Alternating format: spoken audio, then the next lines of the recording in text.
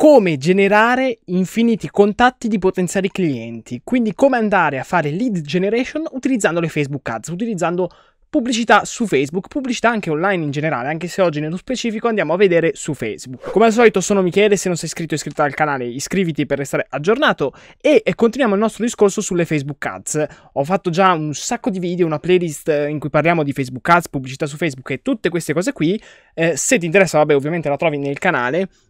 Ma oggi andiamo più in profondità, andiamo a vedere una strategia specifica per fare lead generation, cioè generare contatti. Perché questa è una cosa molto importante? Perché per la maggior parte dei business, anzi userei dire fondamentalmente per tutti i business, servono dei clienti, servono delle persone interessate a qualcosa.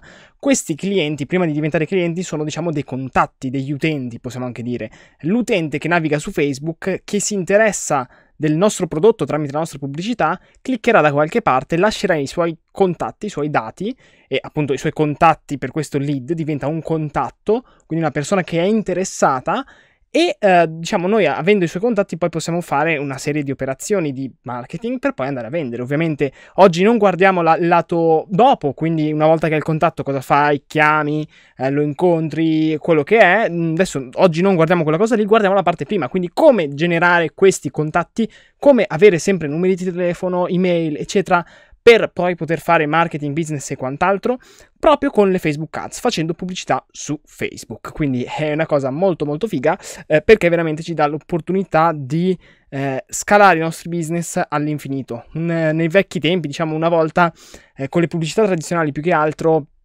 sì, potevi fare volantinaggio, potevi fare pubblicità in tv, in radio, ma avevi sempre il problema che eh, era molto vago, non sapevi quante persone effettivamente arrivavano da quale mezzo, quindi si disperdevano, non sapevi il ritorno preciso sulla tua spesa e eh, di conseguenza, vabbè, spendevi in pubblicità per, perché sì, perché è importante fare pubblicità, perché devi chiaramente farti conoscere, altrimenti il business non cresce, giustissimo. Con gli strumenti online invece puoi farlo proprio in maniera matematica, quindi se sai che generare il contatto di un potenziale cliente ti costa 1 euro, 2 euro, 5 euro, anche 10 euro, sai ogni quanto ogni quante persone, ogni quanti contatti vai a fare una vendita, ovviamente questo lo saprai con un po' di esperienza, però non lo so, il 2%, il 5%, il 10%, il 20%, dipende un po' da, dal business, dal target di pubblico, dalla modalità di vendita anche, e sai però che ogni 100 fai tot vendite e quindi puoi calcolare il tuo ROI molto semplicemente, quindi se mi costano 5 euro e io chiudo il 10% delle, dei miei contatti,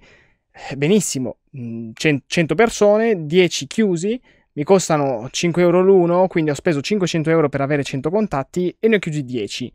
Questi 10 mi valgono più di 500 euro? Quindi mi valgono almeno 51 euro, 50 euro e un centesimo a testa? Sì? Ottimo, allora sei in profitto. No, allora non sei in profitto e devi capire che cosa puoi fare per andare in profitto, quindi gli upsell, dei cross-sell, cioè vendergli altra roba dopo la prima vendita, così da alzare il, lo scontrino medio, diciamo il lifetime value, quindi il valore del, del tuo cliente dopo la prima vendita, oppure a cercare di abbattere i costi pubblicitari, che però ti dico è la via un po' più tostica perché eh, in realtà i costi si stanno sempre alzando sempre di più perché più persone vanno ad utilizzare i sistemi di pubblicità online e di conseguenza aumenta la competizione, aumentano le aste, sono sistemi ad aste dove più gente c'è che vuole pagare, vuole fare pubblicità, più i costi tendono a salire. Ma questo non è un problema perché con un business fatto bene, con delle strategie fatte bene, mm, si può fare profitti molto molto interessanti. Fidati che si può fare. Benissimo, adesso eh, ti dico, passiamo subito alla nostra schermata di Facebook perché abbiamo detto vediamolo proprio con Facebook davanti. Eh, innanzitutto vediamo eh, che tipo di pubblicità dobbiamo andare a fare. Quindi andiamo dentro il nostro gestione inserzioni o ads manager e ehm, capiamo quale obiettivo dobbiamo selezionare per fare appunto uh, lead generation e eh, ti sembrerà banale, ma generazione di contatti è proprio l'obiettivo che ci dà in mano Facebook per poterlo, eh, diciamo, per, per, generare contatti, in inglese appunto lead generation. Tralasciamo tutto il discorso di CBO, A-B test, vabbè gli A-B test non vanno fatti in questo mo- non in questo modo qui, vanno fatti ma non con i sistemi automatici di Facebook, ne parleremo magari in un video specifico e vi spiegherò il perché.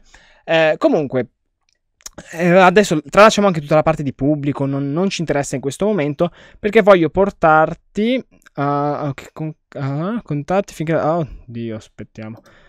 Ovviamente, ecco, questo è importante, non è, non è, ovvio, però vabbè, ti compare davanti. Con questa pagina, per esempio, non ho mai fatto uh, lead generation perché ne ho tante e questa qua mi è capitata una adesso ho, con cui non ho mai fatto, e eh, quando lo fai devi accettare queste condizioni, perché sono questioni di gestione dei dati, eh, GDPR e cazzi e mazzi. Ovviamente noi lo leggiamo molto attentamente e accettiamo le condizioni.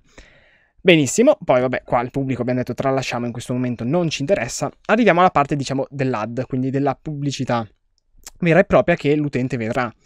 Eh, ovviamente, come al solito, puoi dare il nome all'inserzione e gli puoi inserire un'immagine, quello che vuoi.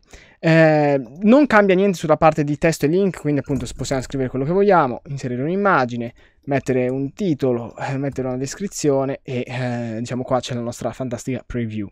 Eh, anche il link visualizzato, io personalmente non lo faccio mai. La call to action eh, può essere un iscriviti, ricevi l'offerta, quello che è in base al tipo di pubblicità. Poi magari eh, verso la fine del video parliamo dell'angolo, quindi della parte comunicativa che possiamo andare a fare per utilizzare al meglio queste strategie. Eh, ma arriviamo nella parte tecnica, diciamo, un po' più ostica, o meglio, non ostica, ma semplicemente da, da capire, da spiegare, poi è molto intuitiva. Il modulo praticamente Facebook ci dà la possibilità di utilizzare i moduli Facebook, che sono appunto, vabbè, lo dice la parola stessa, dei moduli in cui le persone possono lasciare i loro dati, però lo fanno direttamente dentro la pagina, eh, dentro Facebook, dentro l'app Facebook, dentro il sito Facebook, quindi non in un sito esterno e questa è una cosa che a Facebook piace perciò ti fa costare meno il, il, contatto fondamentalmente. Perché gli piace? Perché Facebook sa che se tu gli porti gli utenti fuori dalla piattaforma, sono utenti che sono fuori e li stai monetizzando tu, non li sta monetizzando lui. Finché invece restano dentro la piattaforma, loro lasciano i dati, poi continuano nella loro, diciamo, routine all'interno del social e quindi Facebook può continuare a monetizzarli. Motivo per cui tutte le cose che, diciamo, restano all'interno di Facebook tendenzialmente costano un po' meno, eh, comunque è, è, è meglio, è più vantaggioso per lui e quindi anche per noi, diciamo, utilizzare utilizzare questi sistemi, mentre quelli che li portano all'esterno e non gli piacciono, cioè non è che non gli piacciono perché comunque tu lo vai a pagare, però eh, ti costa un po' di più. Tant'è che a livello organico, quindi non sponsorizzati, i post con i link che va, rimandano all'esterno hanno un 10% di reach, quindi vengono viste da solo rispetto al totale, cioè non, anche quelli senza link non vengono visti da tutte le persone che seguono per esempio la pagina, ma eh, da una piccola percentuale. Ecco, eh, chi, se ci metti dentro il link è il 10% di questa percentuale, quindi proprio poca gente. Eh, proprio perché Facebook vuole tenere le persone dentro la piattaforma. Comunque, come funzionano i moduli? Allora, nuovo modulo. Eh, una chicca importantissima che ti dico subito è che finché non sei sicuro che il modulo sia pronto, salvalo, perché quando fai fine non lo potrai più modificare. Per modificarlo devi copiarlo e eh, modificare la copia. Diamogli un titolo, in questo caso lo chiamo prova tutorial YouTube e abbiamo due tipi di moduli, volume maggiore o intenzione più elevata. Innanzitutto vediamo qual è il modulo, è questo qua, questo coso qui. Quindi le persone lasciano i dati, in questo caso email e nome, fanno next, eh, leggono diciamo la, la privacy eccetera e arrivano a una sorta di thank you dove noi possiamo anche aggiungere un bottone per andare a un altro sito web. Intenzione più elevata aggiunge eh, un passaggio, cioè se eh, inseri- inserimento dei dati controllo che i dati sono effettivamente eh, eh, giusti, faccio uno slide verso destra per inviare e poi arriva la thank you. Quindi la differenza sta proprio nella pagina di mezzo che qua è un'accettazione e submit, qui è un controllo in più, quindi richiede diciamo un'intenzione maggiore delle persone, sai che sono dei lead un po' più profilati, magari ne perde qualcuno, però ok. Detto questo, uh, vabbè, adesso in, in, vai, lasciamo pure intenzione più elevata così vediamo tutti i passaggi. Presentazione eh, facoltativo, noi possiamo inserire il nome, quindi eh, ricevi l'offerta e possiamo usare eh, l'immagine dell'inserzione oppure caricare un'immagine specifica. Possiamo scrivere quello che vuoi, compilando questo modulo eh, potrai ricevere l'offerta, per esempio. E poi abbiamo le domande, quindi eh, email, numero di telefono, eh, vabbè, non so, possiamo dare un titolo, compila i dati compila il modulo, che ne so, eh, email, no, nome, possiamo aggiungere altre domande, quindi contact fields, eh, phone number, street address, city, state, province, insomma quello che vogliamo, user information, mh, mm, demographics, quindi data di nascita, sesso, possiamo chiedere veramente un sacco di cose, adesso non, non, non sto a guardare tutte nello specifico, ma anche le custom question, quindi una risposta breve, una scelta multipla, una condizionale o una programmazione dell'appuntamento. Eh, per esempio, guardiamo quest'ultima. Puoi eh, dare, diciamo, una disponibilità di date eh, e scrivere per esempio mh, mm, scegli o meglio richiedi il tuo appuntamento appuntamento eh, richiesto. E vabbè qua ha preso quelli della pagina di default. Comunque può essere un'opzione se ad esempio hai un cliente che ha bisogno di questa cosa qui. Eh, un'altra cosa che per, personalmente però non lo consiglio cioè preferisco io catturare il contatto e poi mettere in contatto con l'assistente dei miei clienti no?